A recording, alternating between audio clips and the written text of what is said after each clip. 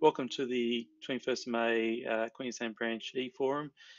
Uh, we'll uh, just have a brief introduction and then I'll hand over to Kate to get going. So uh, yes, we'd like to welcome everyone, um, not just Queensland, but uh, all over Australia and the entire uh, AIG membership. Um, hopefully you can all attend as many of these as possible. Uh, today's talk is from Kate Hine from MITRE Geophysics. Uh, her talk is The Good, the Bad and the Ugly, 20 Years in Exploration Geophysics. Uh, for those who are new to Zoom, could I just ask those, um, with, uh, just remind everyone that your microphone and cameras are inactive and uh, please use the Q&A function, not the chat function to ask your questions. If you use the chat, it gets lost. Um, but uh, please put your questions in the Q&A and anyone who's interested in uh, promoting a uh, question, you can vote on those as well. Um, please submit your questions as they go. Uh, we'll uh, save them for the end, but it makes it easier if everyone um, asks their questions as, as we go. Uh, we are going to record this, and as we have recorded our other ones, and we'll be posting them on the AIG YouTube channel uh, in due course. Upcoming events, we have a uh, Friday QAQC for exploration mining seminar uh, it was planned to be run just before the uh, lockdowns, but we'll uh, try to get that one going um, as soon as practical. It will be a face-to-face -face, seminar in Brisbane. Uh, we'll also have a joint AIG uh, Geological Society of Australia Queensland branch and AusIMM talk in June, just confirming the dates on that one. Upcoming uh, talks with the AIG ALS technical meeting series. Uh, we'll have the uh, Red Dome talk from Cam Schweitzer and Newcrest coming up in a couple of weeks, June 9. Uh, July, we'll be talking about some uh, bauxite. We'll also be looking at uh, carbon sequestration, um, Misima Gold Deposit in PNG, uh, WKP epithermal deposit in Waihi, and still looking for a November talk, so keep your eyes open for that. The RPGEO e-forum series is something new we've started rolling out. This is the first of the actual uh, RPG categories that we're running. Um, so thanks, Kate. Uh, coming up uh, will be a mineral exploration uh, talk on June the 4th uh, on declining discoveries with an expert panel including Tim Grask, Richard Schodde and Malcolm Norris. June will also host one on geochemistry. Then we'll follow up with hydrogeology and information geoscience. And we're continuing to plan those as we go along. The RPGAE forums will continue as an online only event, whereas the AIG ALS uh, monthly technical talks will eventually revert back to being face to face um, events at the Transcontinental Hotel in Brisbane. So uh, to get things moving, um, Kate is going to talk, as I mentioned, on the good, the bad and the ugly, 20 years in exploration geophysics. Kate is a versatile and successful geophysicist who's worked with all with some of the most interesting companies and exciting deposits in Australia and worldwide. She has made several major discoveries through a combination of technical expertise and equally important um, integration with full exploration team. She firmly believes that if you want to be successful, you need to draw on experienced, open-minded expertise from across the disciplines and integrate them into an enthusiastic team that knows it can and will find ore deposits. So without a further ado, I will uh, hand this over to um, Kate as soon as I can stop this. There we go. I'm just sharing my PowerPoint screen. Hopefully, I hope you can see. Yes. All right.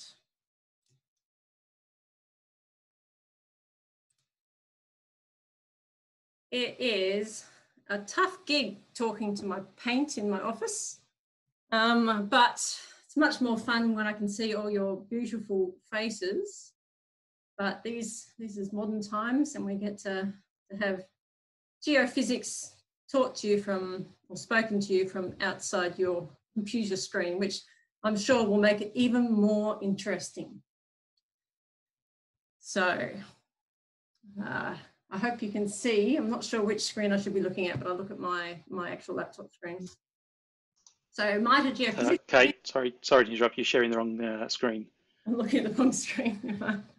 Great. I don't really know which way to do that. how to get around that? Uh, when you go to share screen, you've got the option of which screen to share. Uh, and I think you're sharing the wrong one of your two. Just unplug the other one. That should um that should make it simpler.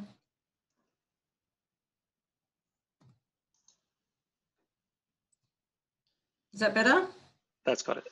All right. So today, MITRE Geophysics, we are a consulting company. It was established in 1980 by John Bishop, which was incidentally the year I was born. And um, and we've been working together on and off over the years since um, since the late 1990s. So um, I tend to work for medium-sized mineral exploration companies, the ones that don't quite have the um, the turnover to, to hire their own geophysicists full-time, or for example, the larger companies that might need, need some specialist expertise in, in certain types of geophysical methods. So the talk basically will just give you a quick refresher on what is um, EM and IP, because they're the two types of geophysical methods that I refer to in this talk the most. And there's a tendency for me just to use short words referring to them all the time. And I, and I realize that you guys don't necessarily live and breathe electromagnetics and induced polarization. So it's good to just do a quick refresher. And then I'll take you through five different examples. It was hard to pick um, the examples for this uh, this talk, but I think these are the most, I think, a really good wide variety of, um, of different applications of geophysics and also some good successes and, and really spectacular failures as well. So EM, electromagnetics. So EM works on exactly the same principle that your car alternator works. That is a changing magnetic field um, changing in time or in space will, um, will induce a secondary um, current to flow in anything conductive. And then we can, we can actually measure the little magnetic fields associated with those currents flowing in the conductive thing. And, um, and those, and we can use those secondary fields to map out whatever it is. So in this particular example, we've got our, this is a downhole EM system. So we've got our surface loop um, on the surface and we have a, a, basically a very simple electrical current in that surface loop that we're turning on and off, on and off, on and off repeatedly, you know, every 25, you know, 25 times a second or 10 times a second or whatever frequency is appropriate. And then in this case, the little receiver probe, which is this black um, box, is going down the drill hole and it's mapping out these secondary magnetic fields caused by the currents induced in this little conductor, which in our case, we hope it to be a, an ore body. Now, if you took your downhole receiver and you walked it along the surface instead and left your transmitter loop fixed in place, that would be fixed loop surface EM. If you took your transmitter loop and moved it along at the same time as you're moving your, um, your receiver, then that's moving loop EM. And if you took your whole, your transmitter loop and your receiver, stuck them beneath a helicopter and flew along at 100 kilometers per hour, then that is airborne EM. So there's um, the, the, the nomenclature is fairly, fairly, fairly similar no matter what. Obviously, when you do everything at 100 kilometers per hour, you pay some real penalties in terms of data quality. So there's a there's an example later on in the talk today where a very large ore deposit was completely missed with airborne EM. So induced polarization is um, a very different type of method and actually it was developed to, uh, I suppose, overcome some of the limitations of EM. And with EM, to get those circulating electrical currents, you, it has to be a pretty good conductor. You have to have quite a lot of sulfides in one spot or graphitic shales or something like that. All those things give you good EM responses. Now, particularly with porphyry copper exploration, they weren't seeing the massive sulfides, and so you weren't get, getting any response to real, um, real typical sort of a, a, a, typical EM survey. And so, but they did find that all those tiny little um, grains in the ground, the disseminated sulfides, when you apply an electrical charge over them, they actually polarize at each at the boundary of every single grain. The um, the ions basically polarize and when you remove that, um, that primary field or that um, basically just two big electrodes plugged into the ground, when you turn that, um, that charge off or that primary field, potential field off, sorry, um, those little grains depolarize. The, the ground essentially, essentially acts like a big capacitor and the amount that it stores electricity is related to the um, to the volume of, uh, of disseminated sulfides. It's related to a lot of other things, but that's one of the things it's related to. And that has the advantage that for, for certain targets, it can um, it can produce a better response, particularly for, I mean, often for for many ore deposits, the halo of disseminated mineralization is actually much larger than the the main economic ore zone, which means and you've got a larger target to find. So using IP, you're trying to find something bigger rather than maybe something that's too small or too deep to be found with something with just EM alone, just magnetics alone or something, or gravity, for example, alone. So IP's is well established and it's definitely having a renaissance in uh, in the Lachlan Fold belt right now in the application for exploration for uh, porphyry copper deposits. And in that particular case, they're doing a lot of MIMDAS, which is like a um, which is like a thinking man's version of IP, a very a very good quality version of IP. So I sort of wrote this talk from the perspective of a exploration manager. So you've got a um, a, um, a very deep, for example, a mine, and um, and it might be one or two kilometres below surface. And drilling, drilling from inside the mine is often quite difficult because you're drilling sub-parallel to your target zone. And that's a very common, very common problem. But then once you've already got a mine, you're already, you've actually already done the hard work. You're already actually quite close to where you want to drill. So how do we get around the fact that we might be drilling something very narrow, but we're drilling or down dip or long strike and therefore drilling parallel to this, um, this sulfide ore body. This particular example is the Endeavour mine. And the Endeavour mine, you can see like this is um, a thousand metre level, uh, 10,000 up here. So it's about um, about 800, 1,000 metres below surface by the time you get down to the, the core of the, the mine. And, um, and so to drill out, to drill anything around the mine, you're looking at 1,500 metre holes. Very, very expensive, long holes, easy to go awry. Now, in this particular case, the exploration was focused on mineralization below. This is a long section. So the, if you can imagine, there was like a skirt of mineralization down below the mine. And it was um, on, the, on the intersections with the sediments that the mine is hosted in and the basement limestone. And it was very hard to drill from within the mine because they were basically drilling a very thin sheet directly down dip. And in this case, to drill at any significant distance below the mine would have taken 1.8 kilometre surface holes. So Endeavour Mine, the mineralisation is pyrrhotite, a lot of zinc, but a lot of pyrrhotite. It's a perfect, perfect target for EM.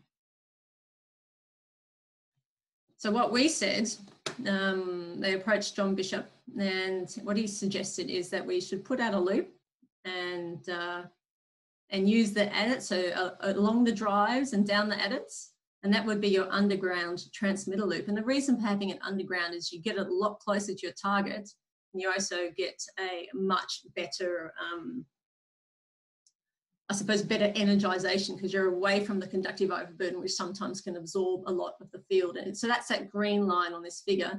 And then in the, um, we actually put a second loop out, and this is a horizontal loop as well. So you had a vertical loop and a horizontal loop. And the second loop just went across, the, the ore body's so thick that it was possible to actually put a horizontal loop, but it was only, so let's say 50 or 100 meters across and then the length of the mine, which in this case is, to, is, is about 1,000 meters. And so we surveyed these three holes here. And you can imagine it was a bit of a, an operation getting this, this, this wire out in an underground situation, but we had the, the support of the mine team and they drilled these holes specifically just to do the downhole geophysics. And there was also this other hole that they were drilling to the north, and um, and that was open, so we said we'd survey that as well. And you'll see that um, this hole was dipping quite shallowly. That's about the minimum depth you can have, minimum dip you can have for a um, gravity-assisted downhole EM survey. If it's an upward hole, horizontal or upward, you have to look at pumping or um, pushing your um, your probe up the hole. So this is cross section. So this is our main ore zone. That's that big long pipe in that previous figure. And here's our skirt. There was actually a similar target on the other side where they thought, well, is this stuff, is it, is it worth really making the effort to, to, to put a drive down to get a bit of drilling, better drilling angle for these things? And so what they did is they drilled some um, holes from within the mine parallel to these, um, this, they knew there was stuff down there, but they just didn't know how big it was and um, if it was worth making the investment to maybe drill some some surface holes to get a good estimate of thickness and grade, and because you were just drilling exactly down dip.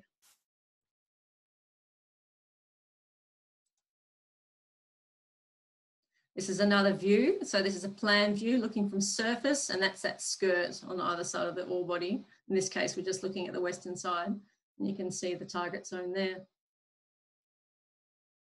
So this, this place, the ore zone seems to be an anticline and with a fault zone and the mineralization appears to be approximately centered around the change in plunge. So anyway, so that was the target. So we We've, we've got me in a bogger. I got, got in trouble because I took my glasses off for the photo. And um, and this is the just to refresh the these underground loops to put it. They're about a thousand meters by 500 meters in sort of oh, 400 meters vertically type thing. Anyway, so we did the survey, and um, these are a couple of the different models. So this is it showed the rough size of these plate conductors. Now this is fortunately I couldn't find the original modeling project for this so I've lost all the details on this, but from memory, they're about 100 meters by 200 meters, these individual um, uh, conductors. And they were enough justification to um, to send down this parent hole here and wedge off it. So these were 1.8 kilometer holes. And, um, and so the, basically the EM was used to define whether or not it was just little bits of sniffs that they'd got in the very limited drilling or if there was some significant spatial extent. And what they found there was um, enough spatial extent to justify the, the surface drilling. Interestingly, in this hole to the north, I also sort of um, mentioned an off-hole conductor. And um, in this particular case, basically the geologist in charge of the whole mine and, and a lot of the um, exploration team had a complete turnover after CBH had some problems, I think maybe, I'm not sure of the exact details. But um, so he was sort of in charge of of this project. And then I think when he left, a lot of the knowledge of what was going on with the geophysics left. They got enough to sort of follow up these things. And this um, and this conductor up here, it was you can't really. I haven't got it on this plot because I don't have the original data or the project. But um, it actually turned. They um, I, I was talking to someone in Broken Hill a few uh, uh, six months ago, and they mentioned that they drilled out and they'd found a um, a, an extension to the ore zone in that direction. I'm like, well, I mean, didn't we find that when we did the EM years ago? And it turned out that didn't actually, um, because this of the change in management, there hadn't been the, the importance of the downhole geophysics results hadn't been fully, well, I suppose the EM plate models hadn't been fully utilised. So shows that sometimes a really good handover is an important um, side of an exploration team as much as actually doing the work itself. So there's some um, some, some of the different models. So quite extensive, but it just didn't have the, um, the metal content to warrant an extension in that direction from memory. So next question, next problem, problem number two. This is uh, VHMS um, and, um, and this is unfortunately how I get called into a lot of projects is the hole's been drilled, but they didn't get anything. And this was a, a fairly um, fairly typical example. In this case, it was Steve Collins had um, had been doing a lot of work for a company called TriAusMin, and they had just um, on on a project in near about two hours south west of Sydney called the Woodlawn Project near Tarago, and um, and it was a pretty busy time of time of uh, the exploration industry, 2012. And so um, I think they called him up and wanted to do some you know, wanted to do some downhole geophysics and he actually suggested that that they call me up because I might be um, more available in that type of project. So in 2012 in Woodlawn, they'd been drilling and I don't believe they had a lot of money left in the budget. They've been drilling and, um, oops, uh, these deep extensions to these um, ore zones. So you've got all these sort of WLTD series holes 9, 10, 11, 12.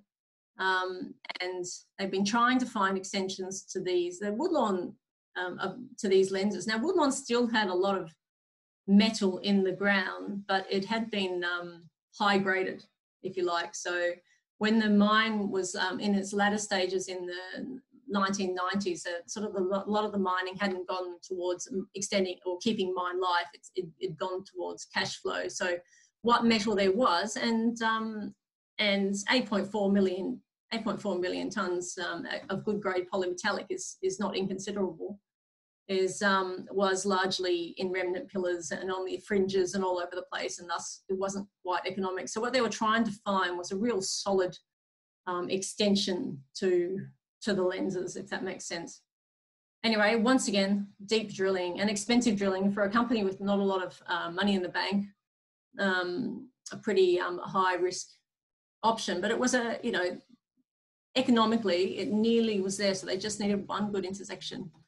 Anyway, they drilled WOT12, WLTD12, which was a 900 meter hole and hadn't gotten anything. And so one of their geologists working on the project, um, Eric Conahan, who works used to work for WMC, and he had a very strong foundation in the use of downhole geophysics, particularly given the um, the, the Mount Isa type um, type ore style, and and so he suggested, well, well, how about we do some some some downhole downhole geophysics, and so that's when I got the call. Now, I didn't actually say yes when they called me up because um, they said, "Well, the hole's ready now, and we're gonna we're gonna we're gonna fill it full of concrete in a couple of days." The, the drill rig's sitting on it. Um, it won't be available once the drill rig moves off. Won't stay open. So can you get a, a downhole EM crew here in two days? And I said, no, that never happens in two days. They just normally it takes just a couple of weeks for them to get all their you know get to that wherever your your hole is or you know wherever your project is but it just happened to be, I called around all the different contractors and just happened to be that Outer Rim, who are now high power EM, Outer Rim were on site and well passing by and they literally just just drove in and started pre prepping for the survey. So remembering with EM, we have transmitter loops. And in this case, they're not perfect rectangles because it's a mine site. Um, it doesn't actually matter if they're not perfect rectangles. It's just as long as I know what shape they are, that's all I need. So I put up two loops because you weren't 100% certain what the orientation of the mineralization would be. And um, outer, outer rim came on site and, uh, and put the loops out, obviously. The, the, the contractor normally puts the loops out and, um, and set up a hole and began to survey.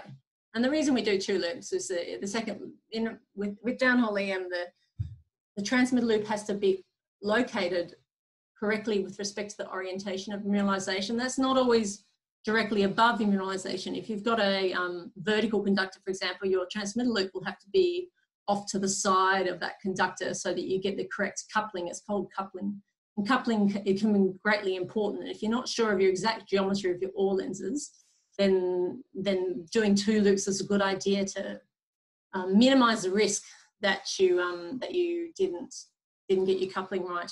In the old days, before three component probes, they used to do five loops. You know, by by moving the loop around, you could tell where the actual ore deposit was and what its orientation was, because on the loops that were poorly coupled with mineralization wouldn't get the response compared to ones that were well coupled with mineralization. It's just like the loop is like a big torch, so you have to shine it the right way to actually correctly illuminate what you're looking for. So this is the um, this is the open cut at Woodlawn. It's actually Sydney's waste dump.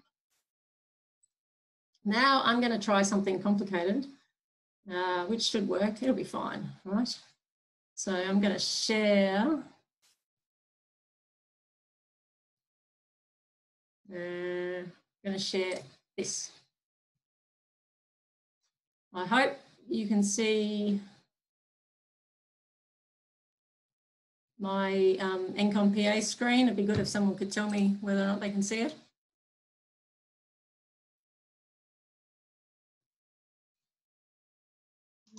Uh, yes, uh, it's all good there. We can see it. Okay, great. All right, so this is the ore lenses at, at, um, at Woodlawn as they were in 2012.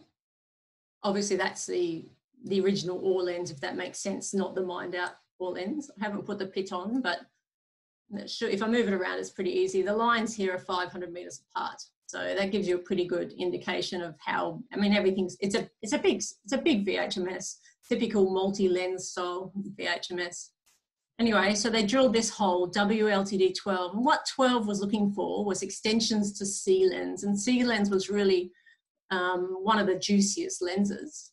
And the idea was, well, maybe there wasn't a lot of drilling around this part of the world, so maybe there could be an extension down here. And if that was the case, that would be a really strong, strong economic viability of the um, of the the existing resource.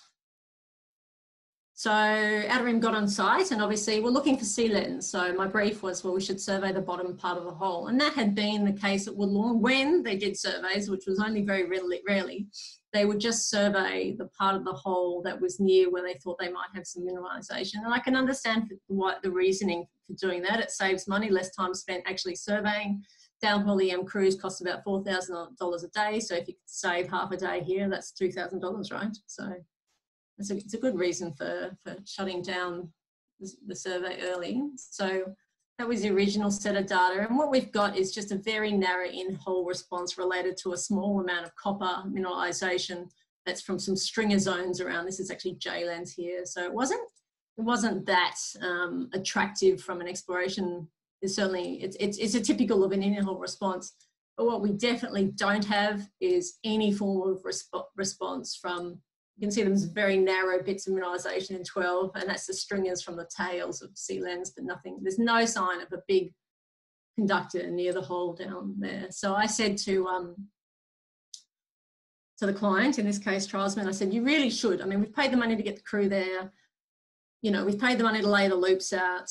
Um, may as well survey the rest of the hole. And Eric Conahan really pushed that um, as well within the company. And they said, oh, okay, yeah, we'll survey the whole hole then. And, um, and that's what we got for the rest of the hole. So now this is how DM data looks. It's four dimensional data. So you've got your spatial information, then you've got the temporal information is represented by this, um, each line is like a slice of time after the transmitter turns off. And what you see is that late time channel, late to mid to late time channels here, these are early time up high and mid to late time up down low. Um, we've got a, a response typical of an off hole conductor. And I thought, oh, well, that's interesting. We couldn't survey any higher because there was um, metal casing in the hole down to 200 meters or something like that. But, well, that's interesting. Um, I'll do a model of it. That's my job, do a model. And um, I didn't really think that there was room. You know, that's what a pretty typical it was it was only it was 120 meters by 120 meters. This conductor. It was decent size. It had a conductance of about 150 Siemens, sort of fairly typical for a VHMS. But what I did know is that was also a lot of historical in-mine workings and and I just thought, you know, I said, look, there's this conductor. It's not explained, um, but um, you know, it's here it is, here's your rectangle. It's not a, you know, rectangle, I can understand if you're a geologist looking at a rectangle, it's pretty unappetizing. And it really didn't seem like there could be something significant, so shallow. So with, I mean, we're talking, we're looking, this is 400 meters above where anyone was looking. Everyone was sinking deep. This is way up high, way up near the top of the workings, really. Anyway, there didn't seem any possibility for, um, for it to actually be anything because it's, it's a mine. It's been drilled and drilled and drilled and drilled and drilled. But um, fortunately, I've managed to put uh, a lot of holes on there that shouldn't be. Just fixed this quickly.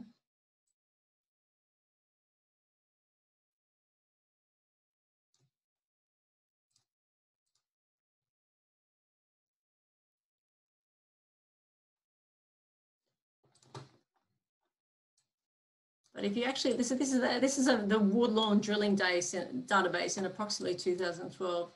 If you actually go in, what you can see is that um,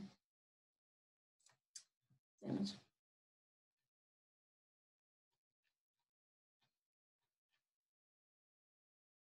Sorry guys, thought I had this all sorted out for you, but turns out not.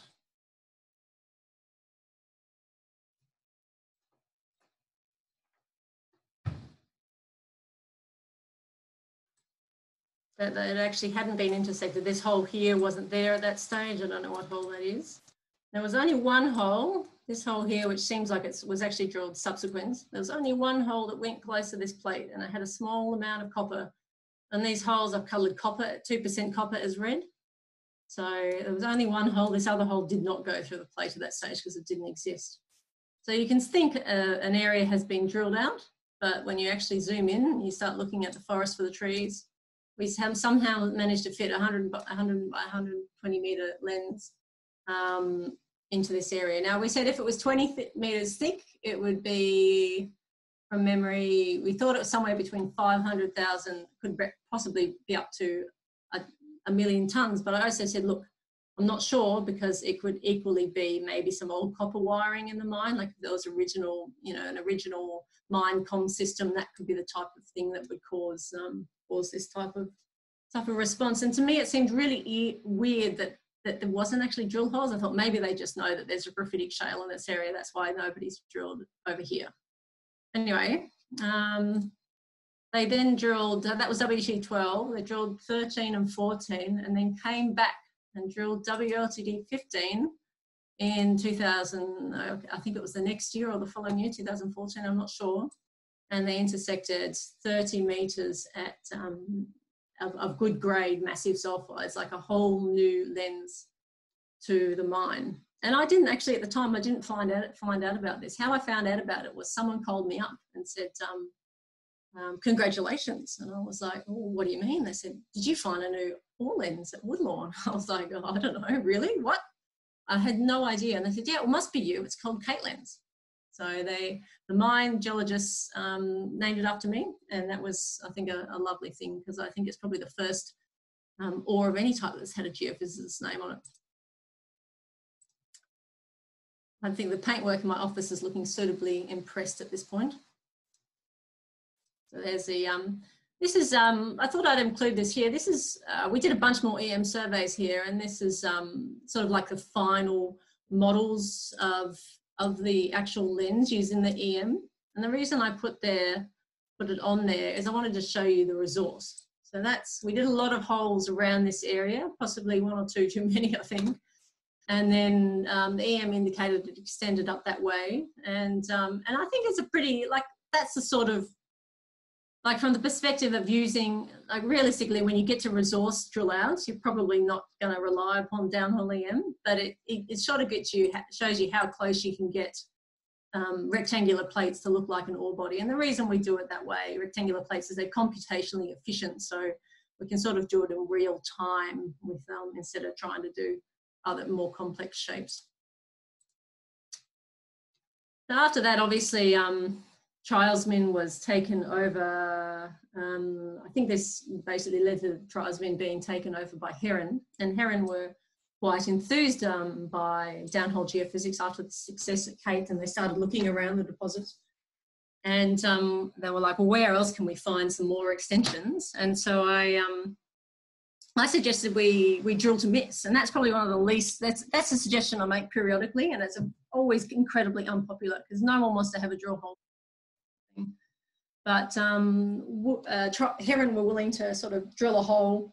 And the reason for doing that is you can get, EM's very good at telling you how close something is and um, or how far you've missed it. And if you drill right through it, sometimes you can't get that really good indication of size, where this gets you a, a much, by drilling to miss, you can sort of, um, I suppose, get a better indication of size and the exact extent in a certain direction. So this is B lens over this side. And the idea was that B lens might extend much further north. There was no drilling that indicated that it didn't extend north.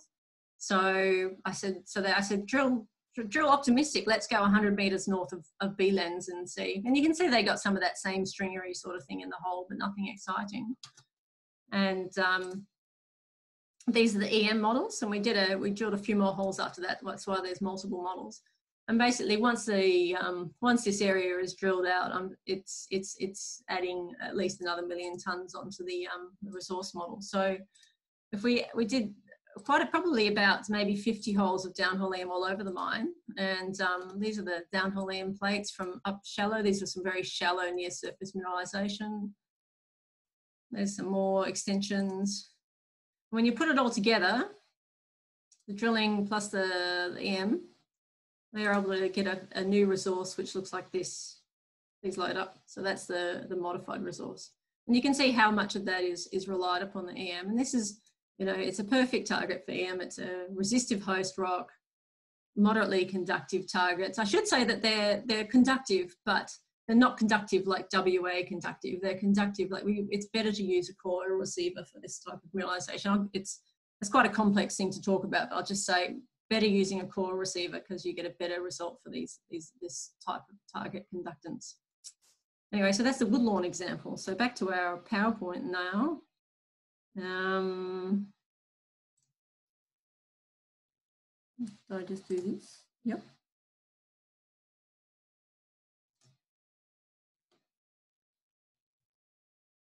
So overall, we added about um, about two, two and a half million, something like two and a half million tonnes of that. And that's the reason why Woodlawn is in the process of turning into a mine. Now, so the next problem is a case of trying to find a specific set of mineralisation right next to a gigantic ore body. So Broken Hill is obviously a world-class ore body, 120 million tonnes. It's 18% combined lead zinc. And, um, and in this particular project, we were working on the northern mine. So the north mine, Broken Hill is a long section, it's shaped like a boomerang. The southern end plunges at about 30 degrees, the northern end plunges at about 60, so it gets deep fast. And of course, it's uh, all of it, the entire ore body is directly under the town of Broken, the township of Broken itself, Broken Hill itself. So what we did in this case, we're working on the northern part of the, um, the north, so it's actually northeast in real world coordinates. And, um, and the question was, are these zinc lodes, they're right next to the, the, the sort of the massive lead zinc sealands.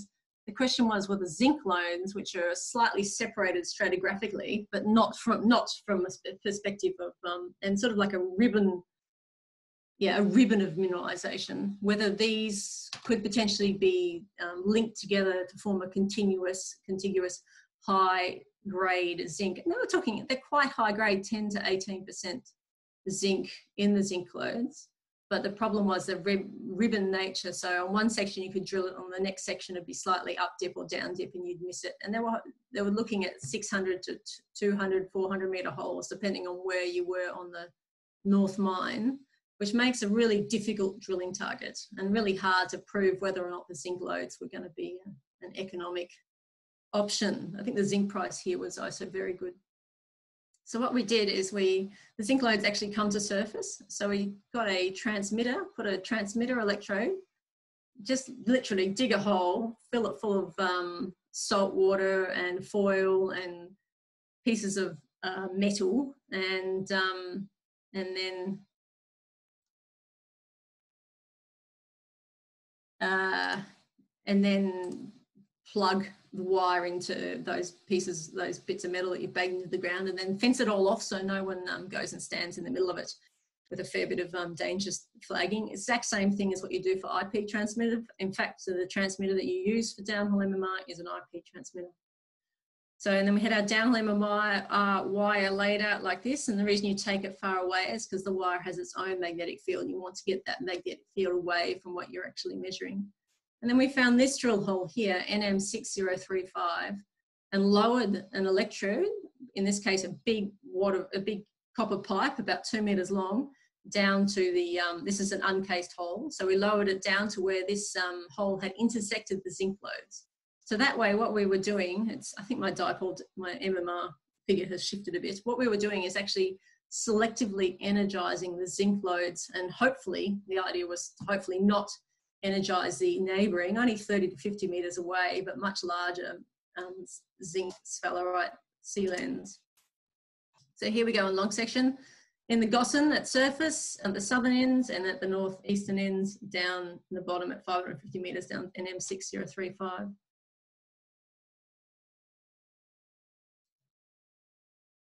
So this is the main, you can see it's been mined out, but it would still be a, a good EM conductor. So we didn't want to see this stuff. If you have just surface electrodes, you can do downhole MR with surface electrodes. Sometimes the electrical current is going to find a lot easier to go through this much bigger and um, potentially much bigger sealands.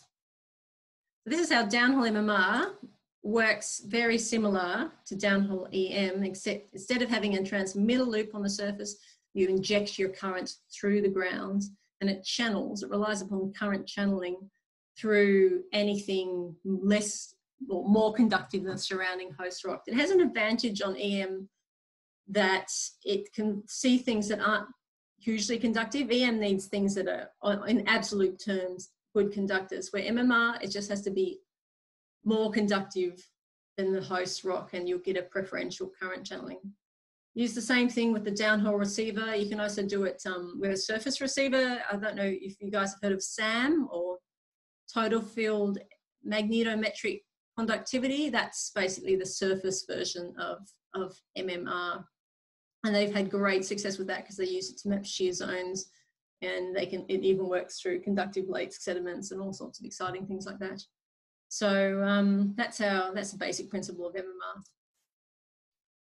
And it worked an absolute treat. So this is um, three component data. We did three component probes, so we've got three component data.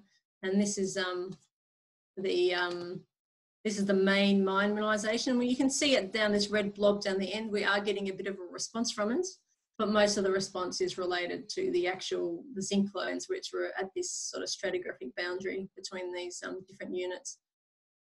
And uh, we also got two little responses up here, and what they are is the is a couple of railway lines. So obviously, a railway line is a good um, it, it, parallels the ore body, so it's a pretty good electrical conductor. It, it's happily con conductor, so it sort of it channels the um, electricity pretty well.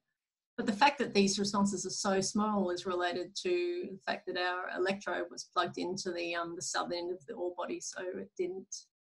It, it wasn't just going along the surface. And there we go. There's our resulting um, downhole MMR polygons, which gave them drill targets for deciding whether or not the um, the zinc lodes should be or or could be further um, further developed from surface drilling, or if they needed to go underground and just drill from in the mine. The mine at that stage wasn't that mine wasn't open. What time we got now? Oh crumbs, going a bit slowly. Hmm.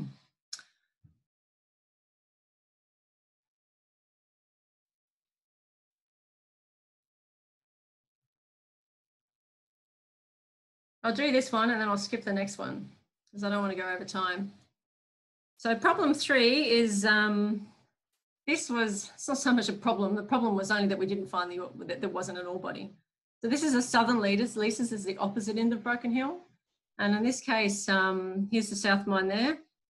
It was, uh, we were working a long down plunge from the known ore body. So pretty hot area if you're talking about anything, but you're also talking deep. So we were already very deep. Now, John had noted, noticed back in the day that, um, that there was an, one single two kilometre hole that had been surveyed with downhole EM by using the Newmont PEM survey. It would have been one of the first EM surveys really in this area in 1984. And based on, there wasn't a lot of information, but based on just looking at the, he thought that maybe um, the transmitter loop had been directly above where the target was. Now, if you're looking for a vertical target, I mentioned before, you don't want to have your transmitter loop directly above. So, um, so they, so he decided, they, he suggested they should clear out and resurvey. Now, that didn't happen until I became involved in the project in about 2009, I think it was, or maybe 2012, I can't quite remember. No, it might have been 2009, that's right. I mean, you really, this, this target stood up on all Oldham. It was in the right location. They had the right alteration. It was even in a bit of a flexure in the amphibolites, which is often associated with where you find the Broken Hill mineralization. It had the right geochemistry, had the blue, blue gahnites, I think they're called. Um, it had everything. And so here's this hole here. It's a two kilometer hole, very, very deep. So, we, so they cleaned it out and you can imagine the size of the drill rig. There's a, you can see a little bit of the drill rig here. It was huge they cleaned it out and we did the downhole EM survey and um, with a fair bit of information and we got this response. Now this response is typical of a big intersection response and the size of the conductor is 400 by 400 meters. So if you're going to get excited about anything, a huge conductor directly along strike from Broken Hill is about as exciting as it gets.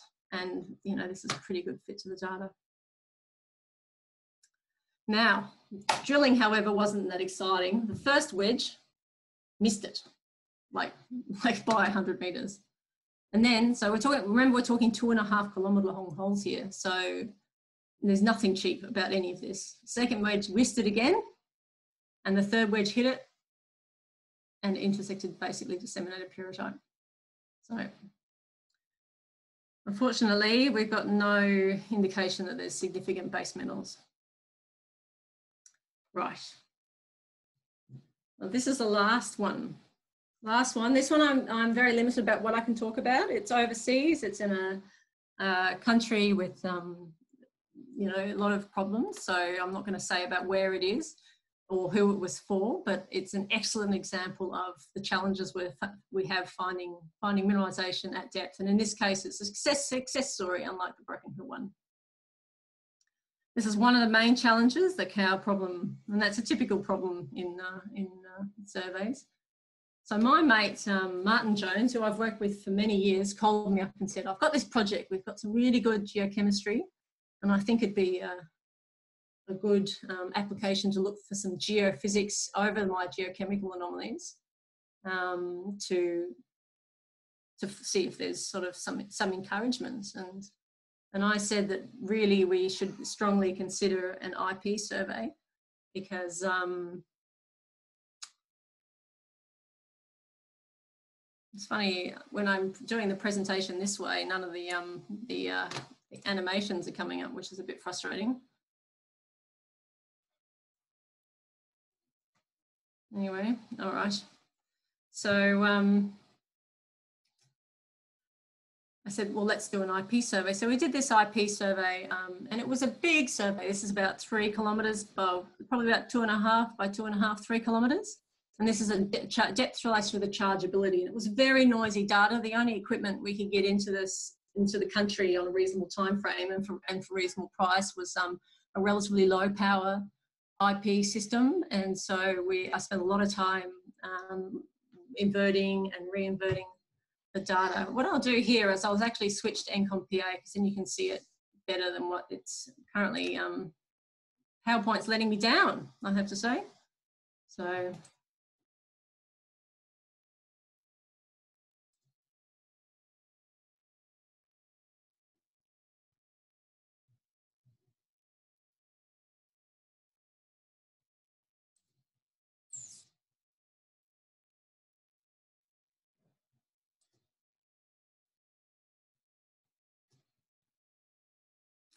So that's all we had. That was the information. They had some geochemistry. And I said, well, what sort of depth do you think this, um, this thing would be at? He said, oh, you know, I want to be able to see down to, to 800 meters. So um, I suggested to Martin that we, we do an IP survey. So that's what we did. This is our chargeability sliced at 400 meters below surface. And this is the existing drilling.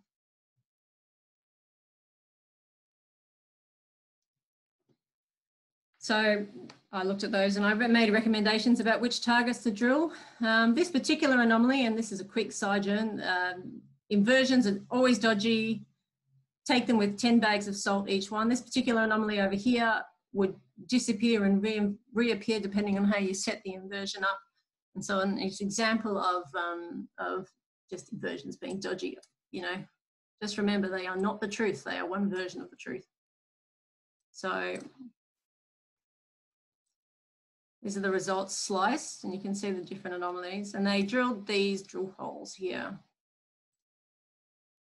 All these drill holes were based on the geophysical anomaly. So these holes are not labeled according to their depth and you can see there's a 500 meter, 700 meter hole. So a, quite an expensive and slow drilling program given the, um, the drilling technology in this company. And the holes got basically nothing, like nothing. And um, and I looked at the drill and we they'd intersected pyrite. IP indicates pyrite, pointed by Steve Collin, it's perfectly correct. And I said in the report, guys, you've, you've explained your IP anomalies and you've got pyrite, but what you haven't, because this is a VHMS target, you really should do some downhole EM on those drill holes to see if there is an actual VHMS within the, the smoke cloud that is the, um, the disseminated pyrite halo, if that makes sense.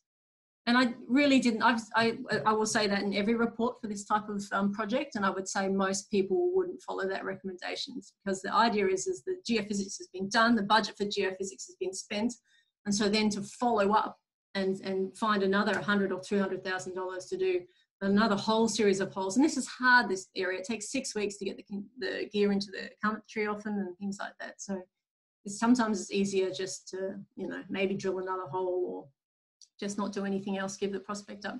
But Martin is um, is pretty wise when it comes to the, uh, the geophysical game, and um, he's been seen seen seen it used quite well. So he, to much to my surprise, managed it all went ahead, and they asked me to design the, the downhole EM. Now I covered myself in glory again. By this stage, I did not think that Martin would talk to me ever again because when the crew got into the country, um, they couldn't get down any of the holes all the holes were blocked. I'm just gonna, I'm just gonna close the door.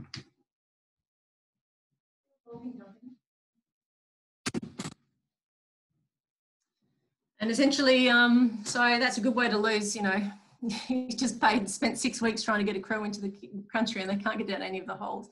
Even though the holes were cased, it was such mobile ground with such high fluid flow that, um, that they that they were blocked. Luckily, they were able to clear out some of them. This one over here, this pink one that has um, had metal casing. Tip for new players, metal casing and downhole EM don't go together. And you can see most of the holes were blocked, including this hole 7314. It was blocked at about 450 metres. What you might be able to just see in this um, particular hole, in 717, is that the EM, pro, EM um, field increases with amplitude at depth.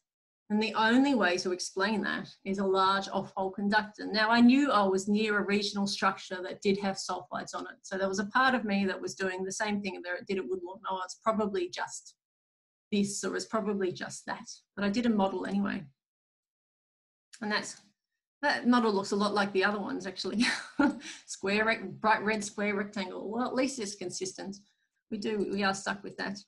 Anyway, about um, two years later, maybe, Martin called me up and he said, I want you to design another downhole EM survey. And I was like, oh yeah, all right, no worries. Give me, send me the whole details. So he sent me the whole details and he sent me the whole coordinates. And I, and I thought, well, my first thought was like, geez, these guys were suckers for punishment. We didn't find much last time. We didn't find much in the, e, um, the IP and I'd completely forgotten about this thing.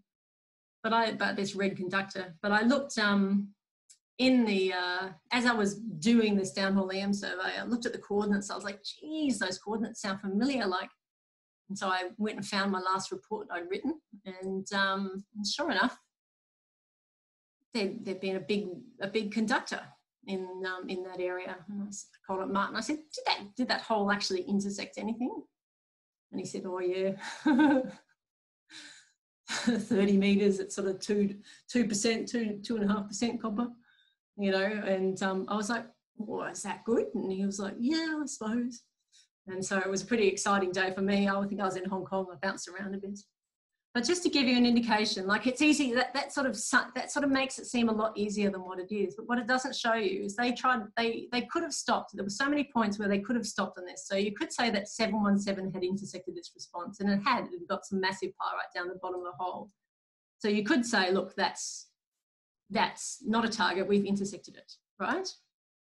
And it's in, it's in the middle of, um, it's in the middle of the chargeability high. So you can see where it sits, right? You could say we've, we've definitely explained this anomaly, we don't need to do any work. But I always say when you're drilling EM conductors, you have to drill the middle. So that's what they did. So the first hole, this, this hole 434, it was blocked. It actually, um, it, it collapsed or something and they couldn't, they couldn't continue it. But instead of giving up, they kept on drilling.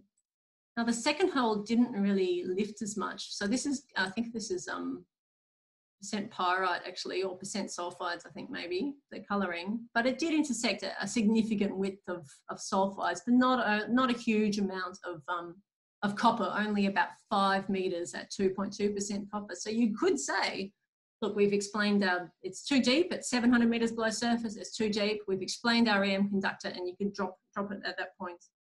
But they kept on going and they finally drilled this hole and this hole intersected a good so that was the main the one that gave all the copper a very good excellent intersection since then we did obviously a lot more drilling drilling looks like that now. And it's quite interesting to compare the downhole EM models with the actual ore model. So it sort of gives you an indication of how, how well they are resolved. Interestingly, the downhole EM strongly suggests, this all model is based on subsequent drilling, the downhole EM strongly suggested that the mineralisation continued in this direction. So later on, um, I can probably go back to my PowerPoint now. We did a, um, there we go they did another IP survey about one and a half kilometres along from that, that ore model. And that IP survey showed another deep target. Now, this deep target plots at about 600 metres below surface, but if you continue the ore model down plunge, the actual ore zone should be about 1,000 metres below surface. So they did, um, they targeted this, this IP anomaly here with a drill hole and um, and you can see this drill hole they got they drilled through what they thought were the IP anomaly and got nothing really. So we did the downhole EM survey. First downhole EM survey went to 7.6 and you could see the amplitude and the signal increasing with depth. And so I said, I did the model and I said you have to drill at least another 150 meters. The next drill hole got to 860 and it was such deep. Oh, yep, right. I have to, have to share wrong, wrong screen. I'll go back.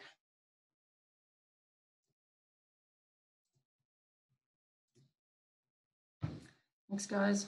All right, so we drilled it. We did this IP survey here, found this lovely IP anomaly, but it was at 600 meters below surface. Drilled through it, and um,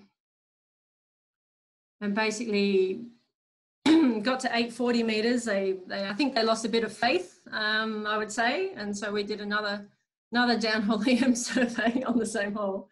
And um, I said, look, guys, you know, you're still about 100 meters away from it.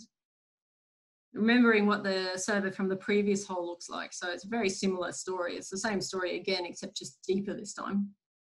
And here it is. We last survey we did, we uh, we did it at about nine, this is at 980 meters, and you can see the signal's just getting stronger and stronger and stronger. And I said, you're about 10 meters away or 20 meters away from the ore, and they intersected the ore at, uh, at about a thousand meters below surface and that's just a continuation of this same same ore body and it's just fantastic. So this is just um, a bit of uh, so this is um, just a bit of fun fact. Um, sometimes you don't even need a transmitter loop with, the, with EM. For this particular area, because there's um, earth return power line systems, we can turn the transmitter loop off and map the ore using just the electrical current flowing th uh, through the ground from the, from the power, power lines. So look at that. So that's the EM response from, we've done tons of downhole EM surveys there now, so we know it pretty well, but this is the EM response. It's an intersection response. That's an off-hole response from something above the hole and that's a off-hole response from something, sorry, something, this one over here is an off-hole something below the hole, and this is an off-hole response from something above the hole. And that's, um, I will one day write a paper about that because it's, it's pretty cool for any geophysicists in the audience. It's a great, great nerd out. It's the, the amplitude of this field at depth was up to 20 nanoteslas. So with a thousand meters below surface, and you got 20 nanoteslas of power line. Like you don't get that if you stand underneath a power line. So it was quite impressive. So this is that's it for me, guys. Sorry for going over time. Um, apparently, I can talk to myself quite effectively, um, or at least rabbit on forever. Here's a bunch of photos of geophysics, and um, if anyone has any questions, I'm happy to um, to answer anything. I saw. I saw yeah, thanks. Thanks, I, I'll go. We'll get the questions going in a second. I'll, I'll just jump in with one quick one before we get to the ones that are there. Um, what would you rate as the most reliable and the least reliable of the methods? Yeah, I think that that's it has to be. It, it, it's like everything. You know, you can say with geochemistry, there's you know, it depends on the environment you're in and what you what type of target you're looking for. So you don't always do ionic leach. You don't always do MMI. Like there's all different um, types of applications. So you know, like if you're looking for porphyry coppers, you don't run a necessarily necessarily think that EM is your first option because mineralization is probably a disseminated sulfide. Um, if you're looking for for a, um, a VHMS, you can get much better results from EM than you can for IP, at least in terms of ore delineation. But if you're actually looking for just to get you for just to get in the area, if you like going from semi-regional regional to prospect scale, maybe maybe using something like um, an airborne EM survey might be suitable. But I, for that that example, um, that last example, that area had been covered with airborne EM. So when you see an airborne EM, I mean, I know that the airborne EM contractors misrepresent how deep they can see with their systems.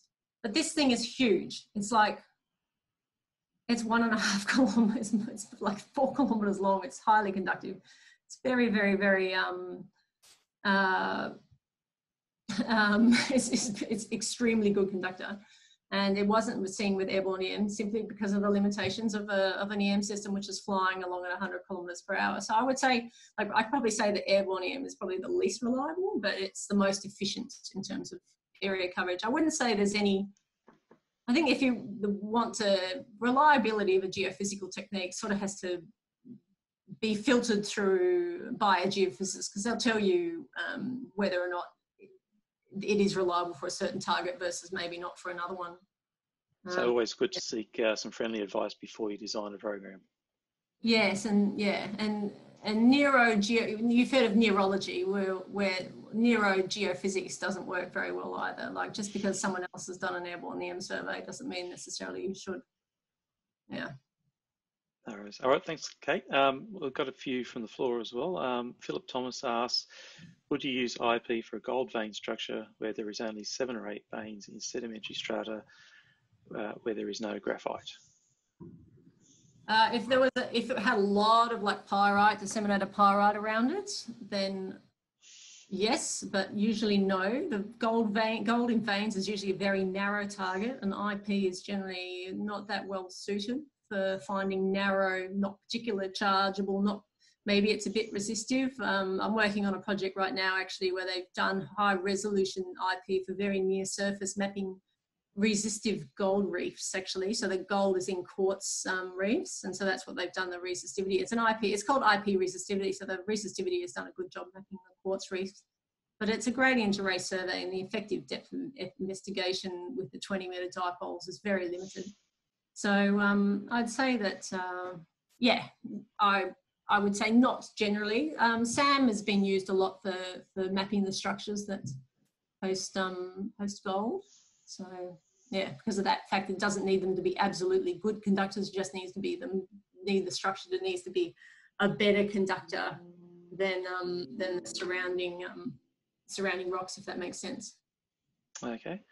Um, thank you. Uh, Doug Young asks, and someone else has also uh, liked this question. Um, in the Broken Hill case, are there lead uh, are the lead lodes more conductive, lead lodes more conductive than the zinc lodes, and can you differentiate them?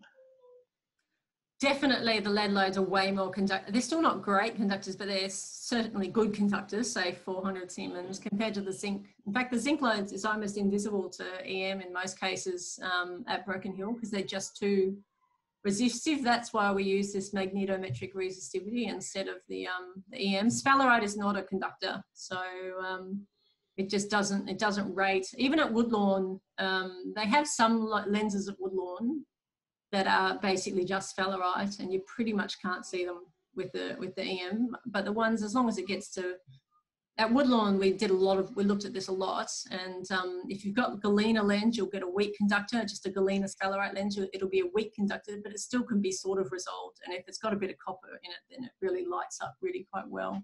Copper's a big control on, on conductivity, at least in the VHMS setting. In Broken Hill, there's not a lot of copper around, but the lenses are so thick and they're so massive that you are quite, the lead lenses, I should say, that you get a lovely response from them. Excellent, thanks for that. Um, I see one more question from Tim Kohler. Do you know if geophysics was used to find the Timok near Bor in East Serbia? And if so, what method? It starts at 400 metres below surface and goes to about 2,400 metres. It's a porphyry copper. No, I actually don't know off the top of my head. Um, what I would say that probably the only things that would uh, work at that depth for that type of ore deposit would be sort of high power IP, and there's different types of IP, but this might be one of them, and um, and MT. So the MIMDAS system actually measures MT as well, and um, and there's been a lot of work recently with with trying to use geophysics to find very large porphyry is one of the few things you have a chance of finding with at depth. So with IP, the resolution is roughly one half the depth of the depth of burial. So um, you start to things you need something to be pretty big when, when, it gets pretty deep for it to be resolved very well. So um, I think that if, if anything was going to work, that'd be either MT and or obviously magnetics can be very effective as well um, for the potassic zone at porphyry coppers but the um, the larger the larger target is the sericitic pyrite alteration on the outer part. So the only problem with IP for porphyry coppers is sometimes you find that sericite pyrite and then you have to scratch your head and go, well, maybe the best IP response is not actually the best drill target because the drill target, you want the chalcopyrite and the, the actual volume of sulfide is lower in the chalcopyrite zone than it is in the pyritic sericitic clay pyrite zone. Mm. Okay, thank you. Um, question from uh, Michael. Uh, what would you offer as an effective method for a semi-entrained zinc lead sulfide skarn with associated magnetite and some proximal pyrrhotite pyrite? So semi-entrained, I don't know what that means. Um, zinc lead sulfide skarn. So proximal mean that it's like very close. A little bit of pyrrhotite. It's a beautiful, pyrrhotite really turns things into lovely, lovely conductors. Um, if it is close enough to your ore zone, then you'd be able to map the pyrrhotite nicely. Downhole magnetics can be um, quite effective for mapping, getting sort of information about where your magnetite is. So if you think the magnetite is associated with your mineralization, then that be quite, could be quite useful. Um, yeah, if, assuming we're talking, um, obviously surface magnetics would be pretty basic. You know, you want to have a good surface mag map. Uh, yeah, I, I, would probably start there. Think about um, if, if the pyrrhotite is, is with the Z and zinc and lead, then it's pyrrhotite has a tendency to turn things into lovely conductors. That's what you saw at the Broken Hill example. We just had rock, but it had a bit of pyrrhotite in it, and that was enough to turn give me a great big EM response. So um, just some network pyrrhotite, yeah. Hey, Kate, I got a question for you. Um, those were lots of examples where geophysics was good. Do you have any ugly ones? Like, have there been many cases in your career where you've done a survey and got absolutely nothing? Well, I mean, I would say finding a gigantic lump of pyrrhotite at two kilometres below surface and drilling three two kilometre holes is a pretty awful. Um, awful. I don't know. I, I think that it could have been a lot worse. You could have gotten nothing and just been like, well, that was, you know, that didn't work at all. Yeah, I suppose. Yeah, I mean, uh, yeah, could have not had a response, but it was a pretty, pretty expensive, um, pretty expensive. I mean, I suppose it was a good area to drill anyway. Um, uh, yeah, so yeah, I've had plenty of examples where it, I mean, they're pretty plenty of examples where it didn't work. I've done resistivity surveys trying to map soft, trying to map where limestone was weathered versus fresh and because that was a limestone mine and it's just all the maps was variations in porosity of the ground. It didn't really map where the limestone was. Where the whole thing was to map the fresh limestone, so they knew where they had fresh limestone. It utterly failed.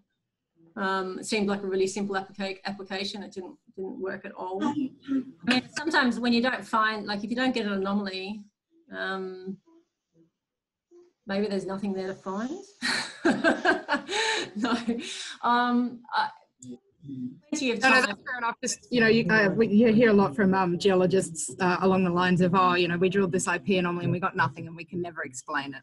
Oh yes, uh, well that's that's one of the things with um, I would say that's particularly problematic with with IP to a lesser extent. EM is is the anomalies are relative. So you sort of don't get a um, sense of the absolute, absolute quality of an anomaly. It's just, it's just the best anomaly in an area. I would say, yeah, probably IP is probably the biggest one prone to that is getting a, um, you know, you've just, it, it can give you responses to clay. And if there's nothing better, that's what you're mapping is clay. And really no one's going to be that excited about, about some clay. Doesn't matter how good they uh, plenty of, I've done plenty of airborne EM surveys where the overburden, we didn't think there was any conductive overburden, but there's so much conductive overburden that the system is, you're not seeing anything below the surface essentially. So that's a lot of, lot of money and, and no, no effective results. Um, and also lots of, particularly up around, Mount, around um, well, particularly in Australia and some somewhat in Saudi Arabia, there's lots of just pyrrhotite, you know, like in these cratonic shields, you just get blobs of, I don't know why they're there, but just pyrrhotite and it's, there's no mineralization, it's just pyrrhotite. And so you find lovely, strong conductors and they're just pyrrhotite. And so you can, and that's one of the risks of airborne EM is you get 50 bazillion thousand kilometers of, of, of, of um, data and you have 50 billion anomalies and you sort of don't know, it's hard to pick the, the good one from all the other ones. And particularly when there's little bits of pyrrhotite left, right and center drilled lots of pyrrhotite in my career. Something like a technical success. Yeah. um, I think uh, we, have gone a fair bit over time, so we might leave it there. Um, thanks very much for your time, Kate. And I see uh, Michael Jones, uh, uh Marty Jones was there uh, on the list of watch, uh, watching, so maybe you can catch up with him and, and, and discuss a little bit further about some of those comments you made. All right, no problem. Thanks, Kate. Uh, thanks all, and uh, we'll see you for the next one in uh, early next month. All right, thank you. Night.